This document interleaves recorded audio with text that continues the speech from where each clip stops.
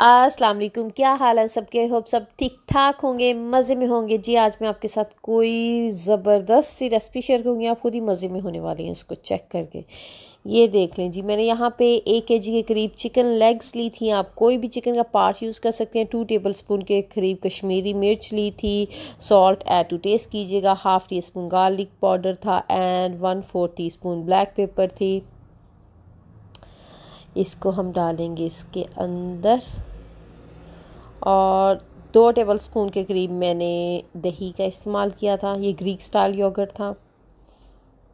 आप चाहें तो कोई भी यूज़ कर सकते हैं। अब हम इसको मिक्सी मिक्सी करेंगे कुछ इस तरह से। ये हो गए हैं मिक्स और हमने इसको साइड पे रख दिया।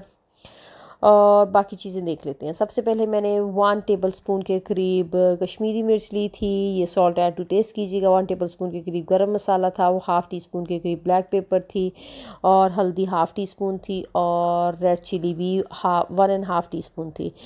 दो ऑनियन लिए थे one and half tablespoon के करीब जिंजर एंड गार्लिक का पेस्ट था, दो बटर की क्यूब्स थी, दो टेबल स्पून के करीब था और अगेन दो बटर की क्यूब्स थी, थोड़ा सा ऑयल था, ये क्रीम थी और तीन टमाटर ले ले, मैंने एक प्याली टमाटर की ली थी। तीन वाले टमाटर यूज़ किए थे, आप चाहें तो फ्रेश यूज़ करें, अगर आप फ्रेश यूज़ कर रहे हैं तो तीन कीजिएगा।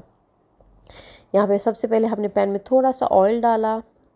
और फिर उसके साथ ही बटर डाल दिया। अगर हम बटर डायरेक्टली डालेंगे तो थोड़ा सा जल जाता है बटर आ, ये देख लीजिए अब हम इसको जो चिकन था मैरिनेट करके रखा हुआ इसको मैंने थर्टी टू फोर्टी मिनट के लिए मैरिनेट किया था। आप चाहें तो इसको ओवरनाइट भी मैरिनेट कर सकते हैं। और एक साइड से कुक हो चुका है। अब हम इसको दूसरी साइड से कुक करेंगे। यहाँ पे याद रखिएगा चिकन अच्छी तरह से गलता नहीं है nearly forty to fifty percent गल जाता है। बाकी चिकन हम लेटर ऑन इसको कुक करेंगे तो गलाएँगे।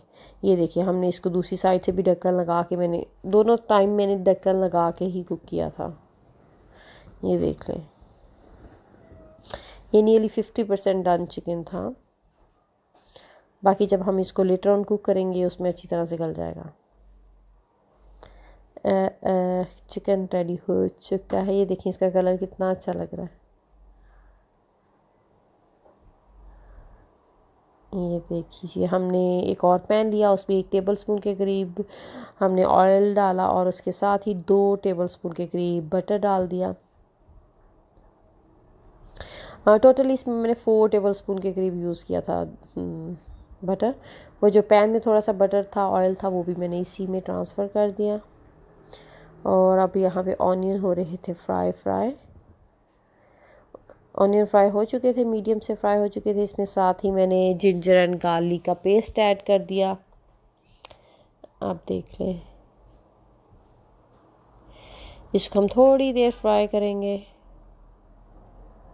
और इसके साथ ही हमने टमाटर ऐड कर दिए अगेन ये मैंने तीन वाले टमाटर यूज़ किए हैं. एक प्याली, अगर आपके पास तीन वाले नहीं हैं तो फ्रेश तो सबसे बेस्ट है जी. ये देख लें, इसमें मैंने सारे मसाला जात डाल दिए हैं और इसको फ्राई करेंगे थोड़ा सा भून लेंगे इनको।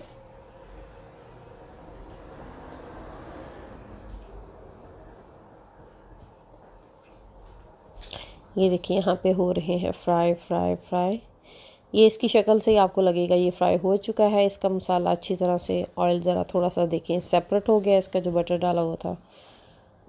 ये देख लीजिए। अब हम इसमें पानी, ये मैंने पूरा कप पानी का डाल दिया था थोड़ा थोड़ा करके एक कप पानी का डालूँगी। और साथ में इसको, आपके पास जग है, उसमें कर लें फ़ूड प्रोसेसर है, उसमें कर लें, और अगर हैंड ब्लेंडर है तो इससे कर लें, लेकिन मैंने इससे किया था, बड़े छींटे पड़ रहे थे मेरे ऊपर। तो आपकी मर्ज़ी, आपके पास कोई भी इक्विपमेंट है, आप उसके साथ इसको मैश कर सकते हैं ब्लेंड कर लें। अब यहाँ पे वन एंड हाफ़ कप के करीब मैंने पानी डाला था। और ये देखें थिक क्रीम थी नियरली टू टेबल स्पून के करीब। ये डबल क्रीम थी।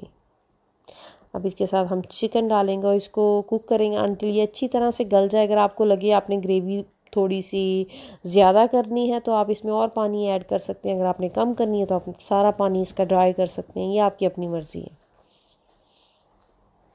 मैंने कैसे की, ये आप आगे देखिएगा। इसको कुक करके मैंने पंद्रह मिनट के लिए पकाया था नियरली इसका चिकन अच्छी तरह से मैंने तोड़ के देख लिया था यहाँ पे चिकन अच्छी तरह से गल चुका था।